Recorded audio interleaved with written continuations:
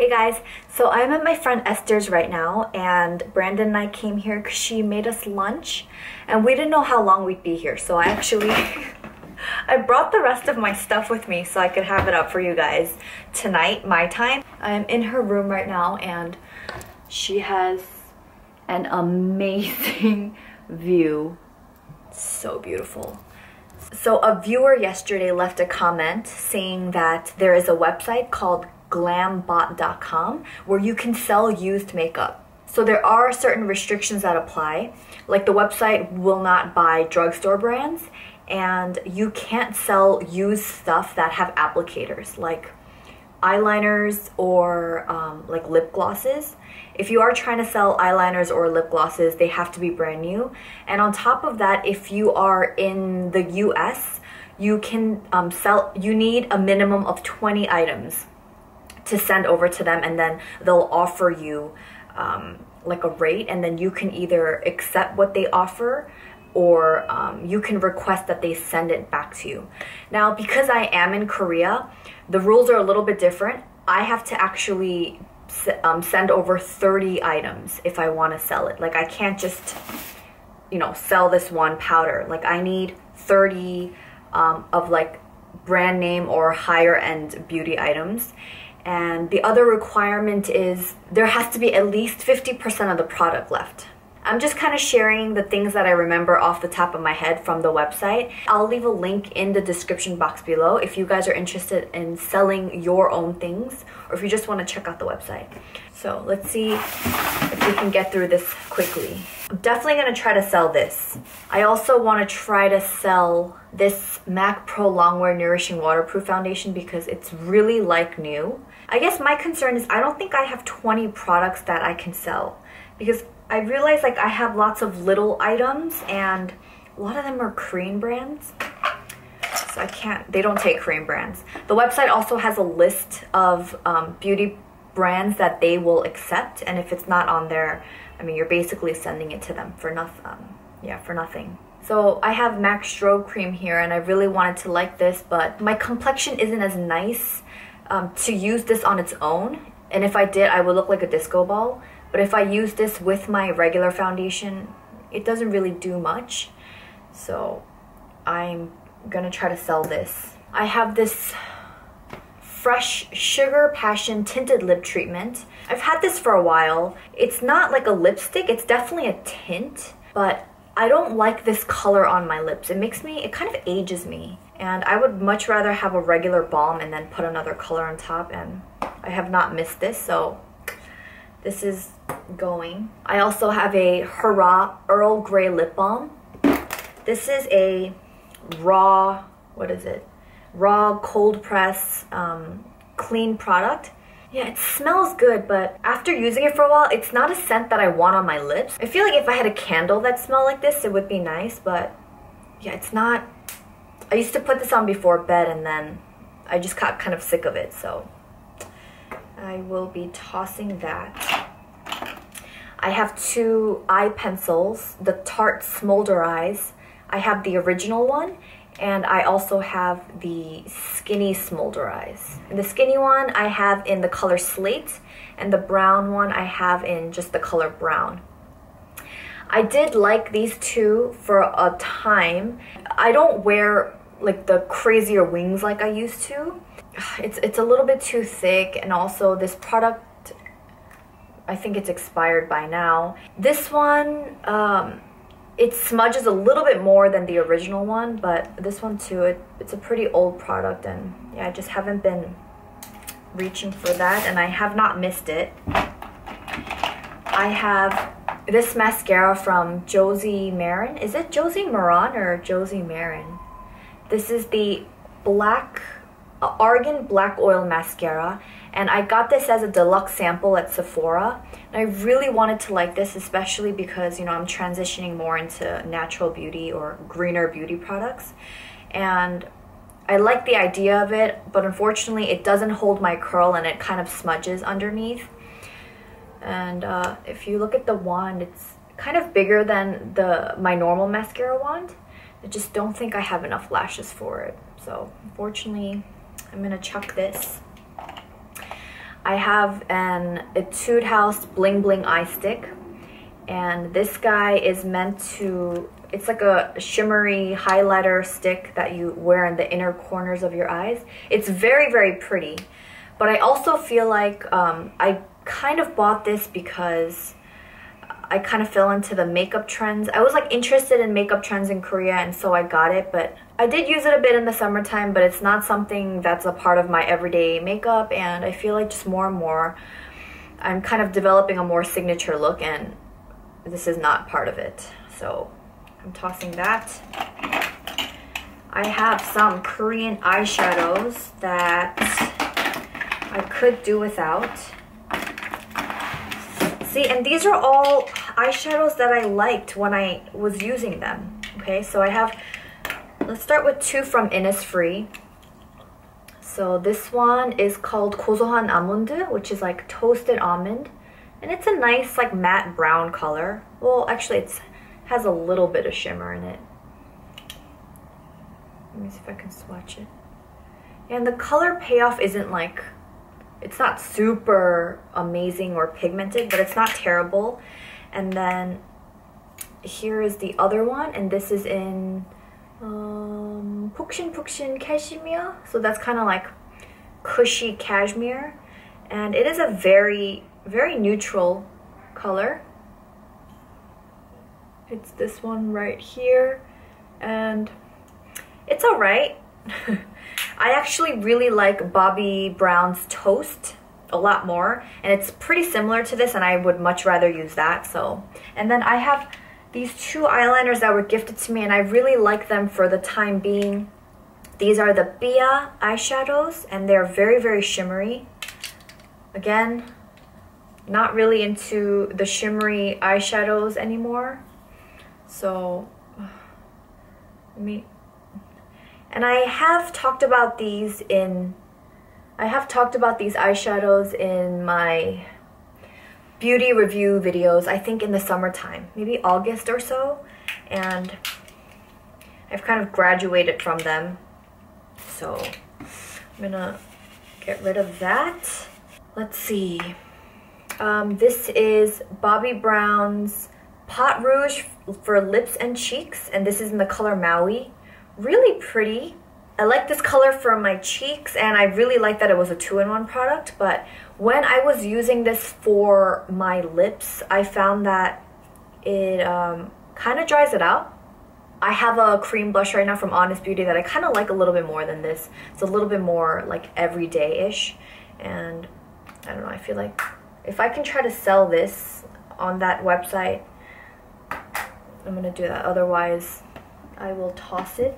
I have two um, Stila lip glosses and it's the ones with the brushes like that and I actually really really enjoyed these when I was using them. They're just super old and really really gross and grimy but again I'm just not into the very glossy lips and so I've been hanging on to these for a while because I like the colors, but I am honestly not going to use them. I have this Bobbi Brown lipstick. It's in the color beige. And I've seriously used this maybe once or twice. And it's, it's definitely one of Bobbi Brown's more popular colors. And honestly for me guys, it's the formula it settles into the lines and it makes my lips look really, really dry and chapped. And because I am someone that deals with um, chapped lips, I can't just swipe it on. Like my friend Gail, she doesn't even carry chapstick around. She uses a uh, nude lipstick from MAC and she just like swipes it on and her lips always look perfect. I could never do that. I would have to exfoliate my lips, have it moisturize, have it be perfect, and then put on lipstick. And if I had her lips, I think this would be a great color because it's a nice color on my skin tone, but just the formula doesn't work with me. I'm gonna try to sell that. The website didn't say anything about not being able to resell used lipstick. I know that, um, I think the products go through some sort of process after this company buys the used makeup and I think they do something to like make it hygienic for people to you know, buy from them. Um, here is another Korean beauty products. Okay, There's one big lesson that I learned from me doing these this de-stashing.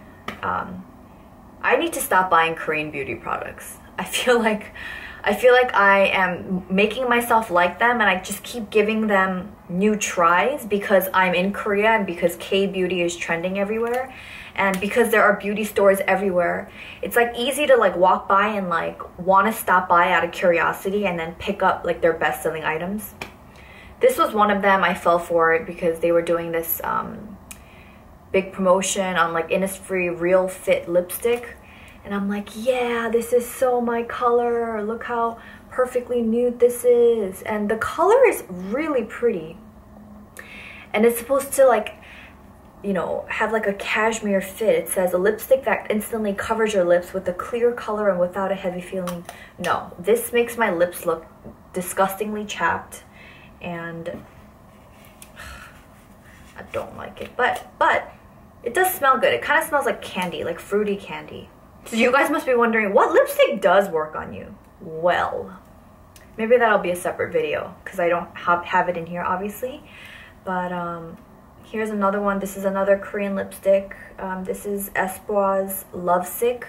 I loved this color this past summer, but again, it did this weird dry, it like dried on my lips in a way that I didn't like and it just felt uncomfortable, so I don't think I will miss that lipstick. I have this Estee Lauder Melting Sun Liqueur lip gloss. And it's this really crazy fun, like corally peach. But again, it's just not a, it's not my kind of color. And I've maybe worn this twice since I've had it. That's gonna go. I have had this Naked palette for like, I wanna say at least five years now. And I barely made a dent in it. And the only color that I absolutely love is this one. It's the it's the half baked. That's what that's like one of my go-tos. But I also I haven't missed this palette that much since it's been away. Like I didn't find myself thinking about it. I think I only wanted to keep it because this is my very first eye palette and the colors are nice but not realistic for my life. But the other color that I liked when I used to um, draw my wing with eyeshadow is Dark Horse. And Dark Horse is this one right here. But I liked it so much and I don't want to carry around the whole palette just for that color. So I actually bought a single eyeshadow in Dark Horse. So what I think I'll do is I'll hold on to this and maybe it's time to say goodbye to this. I have a Nivea lip butter and coconut and I got for free at a Spartan race event and it's okay. I'm not gonna miss this. I mean, whatever. I'm gonna toss that. I have a Clinique Chubby Stick in Super Strawberry. I like this for a bit too, but it's nothing special. I mean, it's a little bit of a tint. I don't like hate it, but I'm not crazy about it, so I'm okay to say bye and I have a MAC eyebrow pencil in Spiked. And it's just one of those like retractable ones. And I don't want to use anything for my eyebrows again after um, I found my Shu Uemura Hard Formula. So yeah, goodbye to that. I have a Gelpresso waterproof pencil gel liner from Clio this is nothing special. I have not missed this at all. Um, there are times when I feel like this stays okay and then there are times when I need this to stay okay but it like smudges everywhere. So this product has been very, very um, unreliable for me and I'm going to toss it. Oh, and this is in the color Dark Chocolate. I know this is one of their best sellers too, but I'm telling you, Korean makeup and me, we are not made for each other. I have an Etude House eyeshadow in the color BR402 and this is syrup bego takeout like takeout coffee minus the syrup I like this too for the time being think I was into like really shimmery shadows this summer or something um,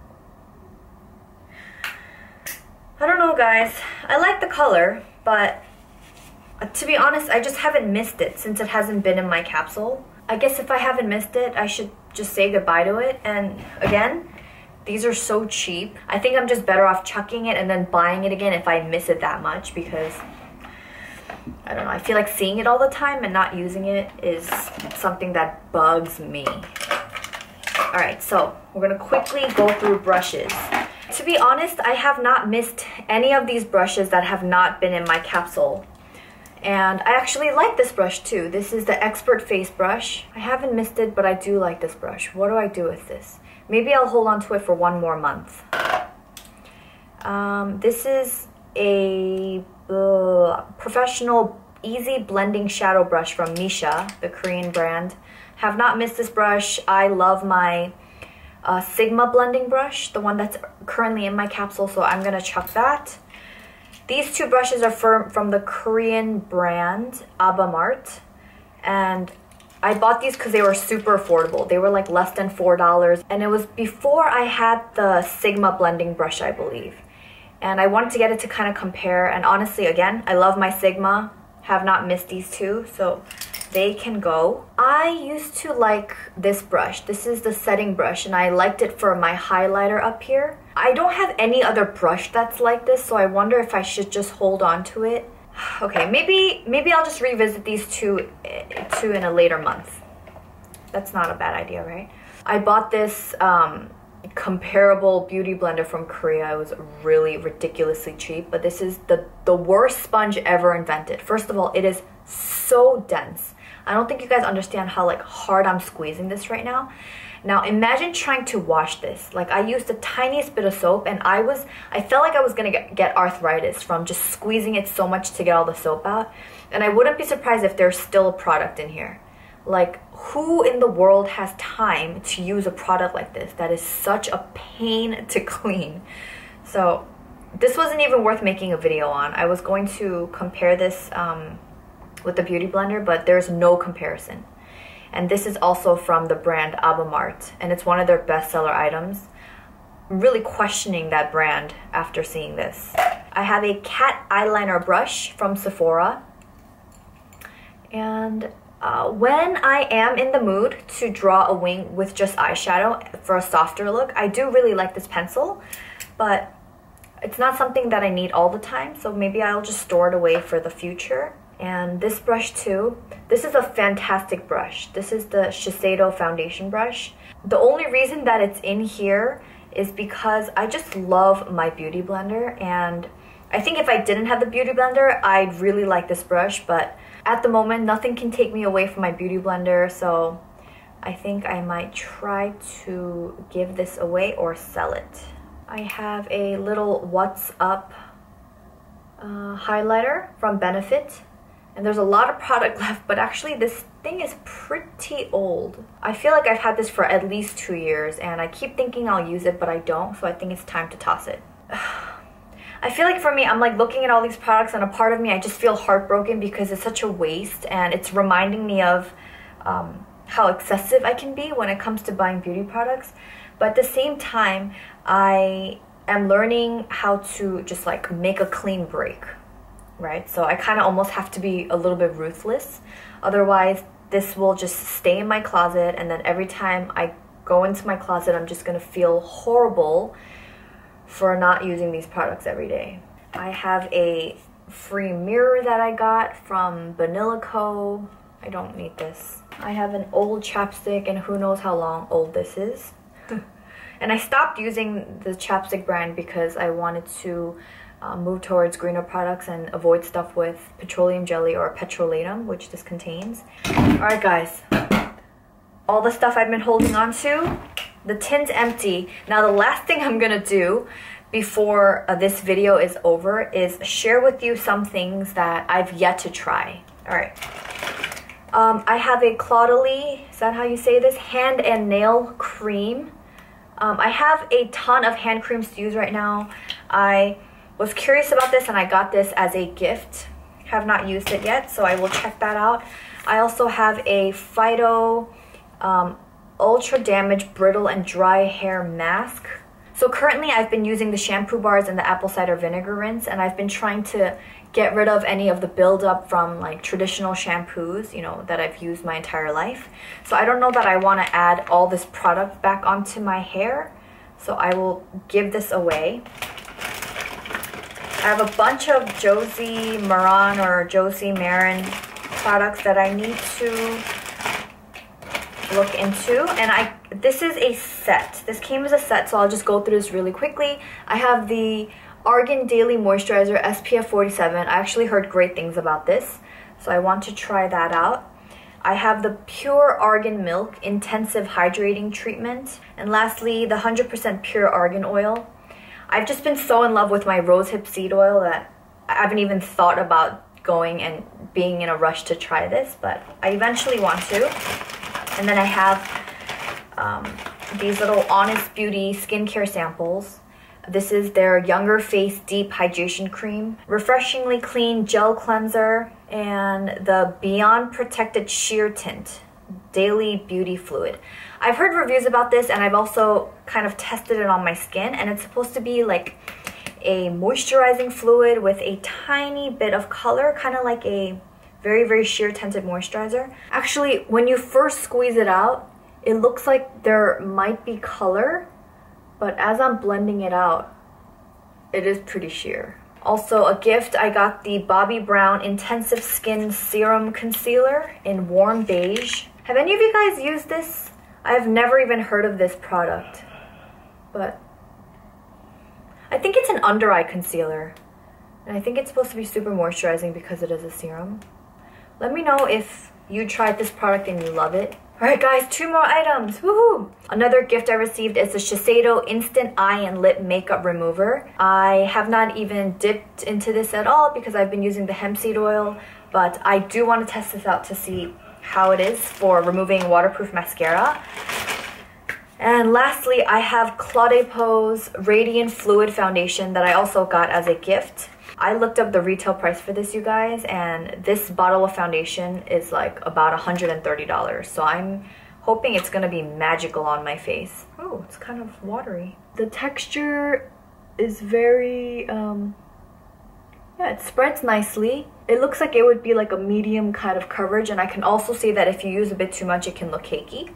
I'll let you know how that goes. I'm probably not going to use this anytime soon just because I already have open foundations and tinted moisturizers in my current capsule right now. So, oh my gosh, you guys, thank you so much for sticking around and watching this entire thing and just being with me during this process. Let me know what your struggles are with decluttering and let me know if you're going to check out that website where you can sell um, your used or unused makeup. I will see you guys tomorrow at my normal spot, which will be at my desk as I'm getting ready for the day. And I will talk to you soon. Bye.